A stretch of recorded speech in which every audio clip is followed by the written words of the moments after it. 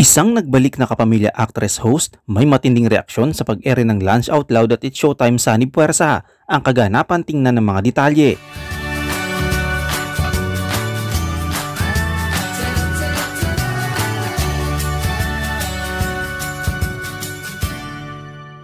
Hindi napigilan ng isang nagbalik kapamilya actress host ang magbigay ng kanyang reaksyon kaugnay sa latest na naganap sa sanipersa ng dalawang dating magkatapat na noontime show, ang LOL at Showtime. Ang actress host na ito ay nagbalik telebisyon matapos ang ilang taon na pamamahinga dala na din ng pandemya at panganak sa kanyang first baby.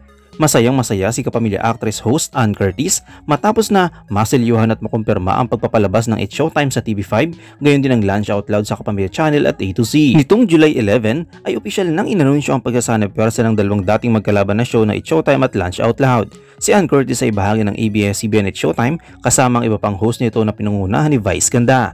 Sa pagpapahayag ng kanyang kasiyahan ay sinabi ni Ann Curtis, I am very happy. You know, I'm happy for the Kapamilya network that we're able to even reach more kapamilyas and kapatids. So you know, it's an exciting collaboration. It's a year of collaborations. Natanong din siya kung madalas na ba siyang napapanood ng madlang people sa Showtime at ayon sa kanya, yes, baby steps. But yes, best efforts din talaga. You know, I'm still getting used to it but yes, definitely you'll be seeing more of me. Tiyak na tiyak na nga ang pagsasanib-versa ng dalawang dati magkalaban na noong time show ng TV5 at ABS-CBN dahil naglabas na ng opisyal na anunsyo ang ABS-CBN kaugnay dito. Sa darating na Sabado ay mapapanood na muli sa Kapamilya Channel at matutunghayan ng ABS-CBN fans sina Alex Gonzaga, Billy Crawford at Bayani Agbayani.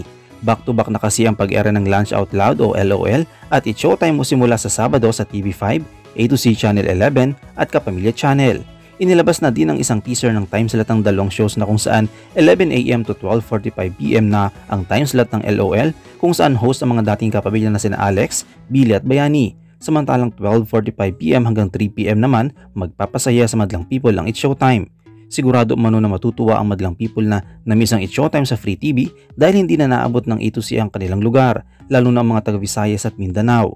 Magandang hudyat umano ito sa TV industry dahil maaaring makatulong ito na lumakas muli ang noontime viewing na tumamlay mula nung pandemya at pag-shutdown ng ABS-CBN.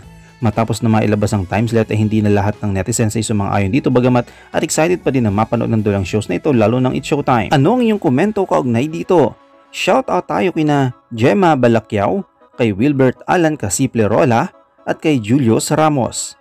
I-comment mo lang ang inyong opinion sa comment section at huwag kalimutang i-like, i-follow, i-subscribe ang busygram.net para sa mga latest happenings.